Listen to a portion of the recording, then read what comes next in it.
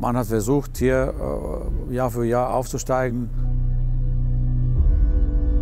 Wirklich nah dran waren wir eigentlich nie. Reines Auf und Ab hat viel Nerven gekostet. Ungelogen. Es war so krass. Also das, ich habe überall Gänsehaut. Was für eine Wille die Mannschaft hatte. Sowas passiert selten.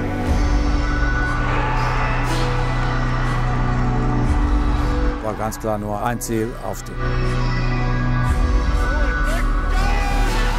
Du solltest dich immer im Spiegel anschauen können und sagen, hey, ich habe alles gegeben, mehr ging es nicht.